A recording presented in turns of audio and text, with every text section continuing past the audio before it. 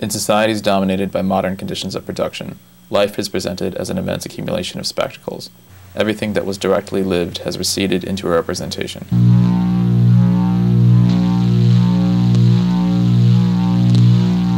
The images detached from every aspect of life merge into a common stream in which the unity of that life can no longer be recovered.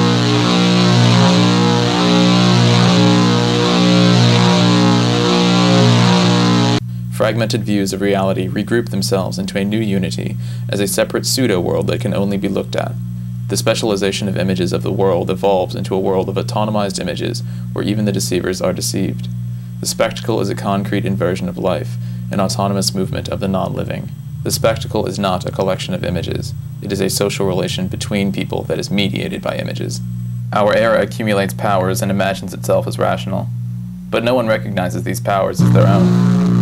Nowhere is there any entry to adulthood.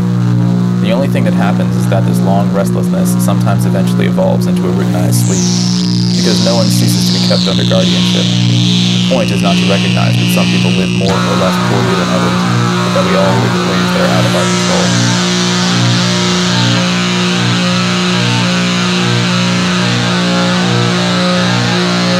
In all of its particular manifestations, news, propaganda, advertising, spectacle represents the dominant model of life. It is the omnipresent affirmation of the choices that have already been made in the sphere of production and the consumption implied by that production. Separation is itself an integral part of the unity of this world. and the global social practice is split into reality and image. The social practice confronted by an autonomous spectacle is at the same time the real totality, which contains that spectacle. But the split within this totality mutilates it to the point that the spectacle seems to be its goal. A world that is upside down, the true is the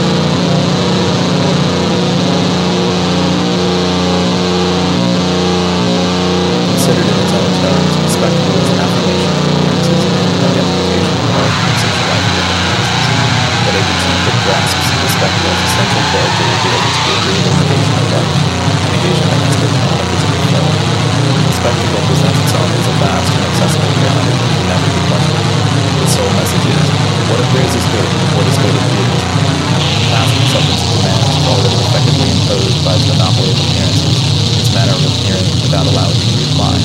When the real world is transformed into mere images, mere images become real beings, dynamic figments that provide direct motivations for hypnotic behavior.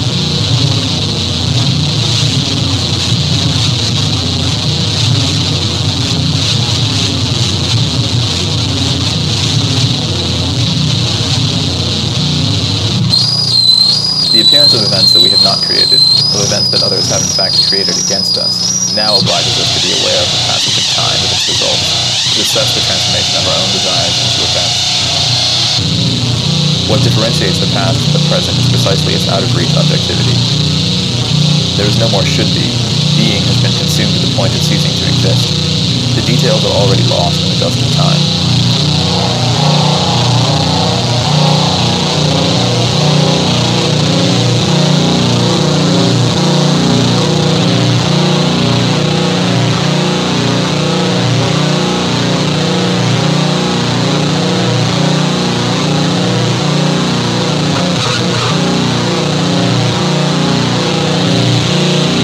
Should be abolished continues, we continue to wear away with it.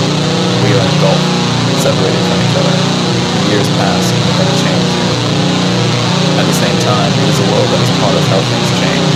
Nothing stays the same. The world changes more rapidly every day, and I have no doubt that those who day after day produce it against their interests can indeed appropriate it for themselves. What cannot be forgotten reappears in dreams. At the end of this type of dream, asleep, the events are still for a brief moment taken as real. Then the reactions they give rise to become clearer, more distinct, more real. Like on so many mornings, the memory of what you drank the night before. Then comes the awareness that it's all false, that it was only a dream, that the new realities were illusory and you can't get back into them. Nothing you can hold on to.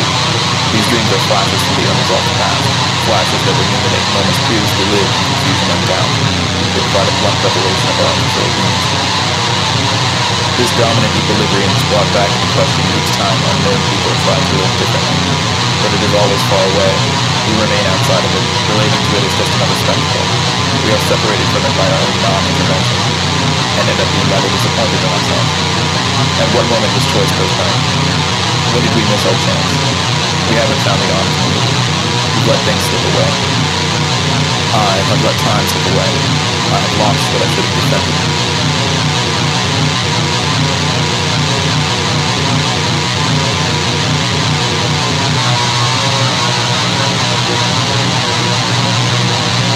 Ideas improve. The meaning of words plays a role in that improvement. Plagiarism is necessary. Progress depends on it. It sticks close to an author's phrasing, exploits his expressions, deletes a false idea, replaces it with a right one. The unreal unity proclaimed by the spectacle masks the class division underlying the real unity of the capitalist of production.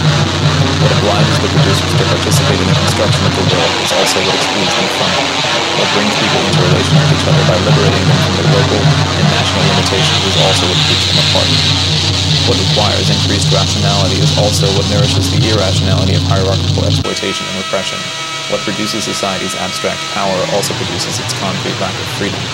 The point is to actually participate in the community of dialogue in the game with time that up till now had merely been represented by poetic and artistic works. When art becomes independent and paints its world in dazzling colors, a moment of life has grown old. Such a moment cannot be rejuvenated by dazzling colors, it can only be evoked in memory. The greatness of art only emerges at the dusk of life.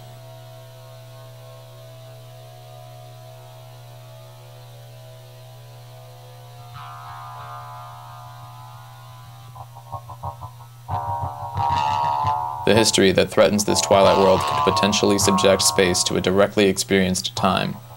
Real revolution is this critique of human geography through which individuals and communities could create places and events commensurate with the appropriation no longer just of their work, but of their entire history. The ever changing playing field of this new world and the freely chosen variations in the rules of the game will regenerate a diversity of local scenes that are independent without being insular. And this diversity will in turn revive the possibility of authentic journeys, journeys within an authentic life that is itself understood as a journey containing its whole meaning within itself.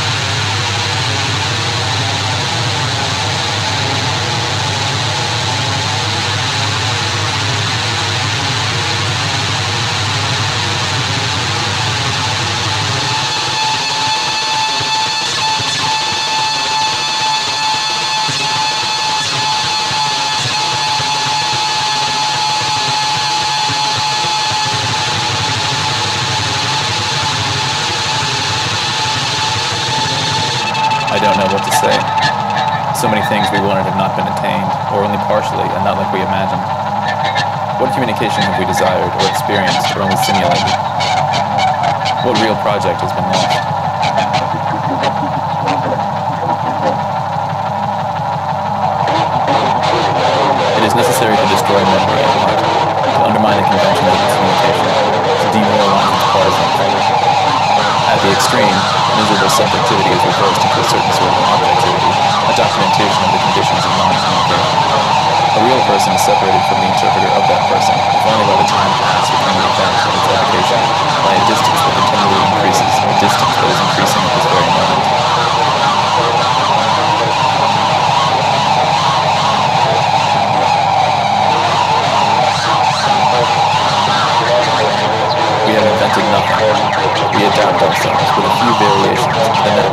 Possible. We get used to it, it seems. It must be admitted that none of this is very clear. It is a completely typical Trump environment, with its incomprehensible allusions and tiresome delivery, with its vain phrases that do not await response and its overbearing explanations. Who will resist?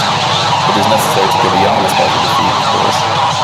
No one returns from an enterprise with the ardor they had upon setting out.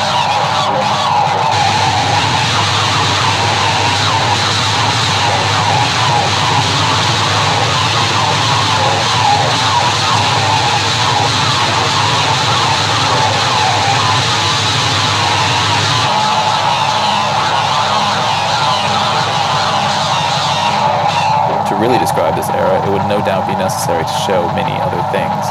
But what would be the point? The point is to understand what has been done and all that remains to be done, not to add more ruins to the old world of spectacles and memories.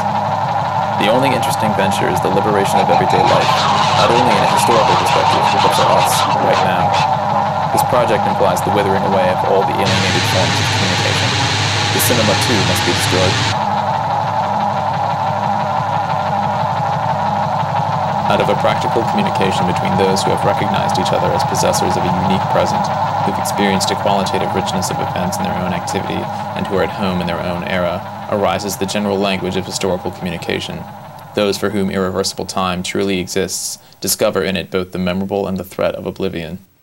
Here I present the results of my research, so that time will not abolish the deeds of men and women.